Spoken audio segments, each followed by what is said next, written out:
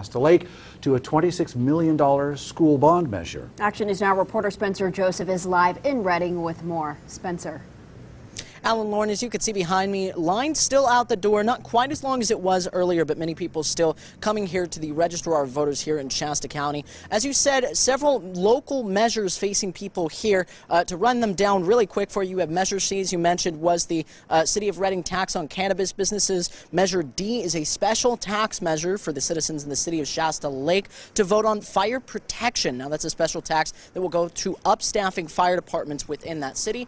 And then, of course, Measure E, a $26 million bond for the Enterprise Elementary School District. Now, not all of these will be on all of the Shasta County voters' uh, ballots. It's area specific, but of course, it is issues that a lot of people in the county are facing, and a lot of the people behind me are voting on. We'll continue to check all of the latest numbers coming out of Shasta County and bring them to you once the polls close, coming up at 8 o'clock. Live in Shasta County, Spencer Joseph, Action News Now. Well, a record number of young